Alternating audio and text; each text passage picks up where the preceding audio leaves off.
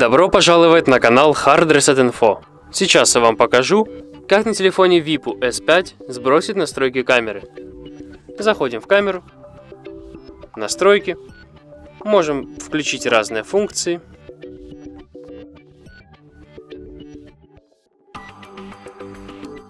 Можем все поменять. Видите, теперь у нас немного странное изображение – и чтобы сбросить все настройки, нажимаем по умолчанию и нажимаем ОК. Как видите, камера снова снимает нормально, и все вернулось на свои места.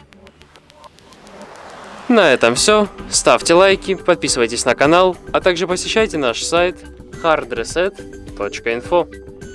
До скорых встреч!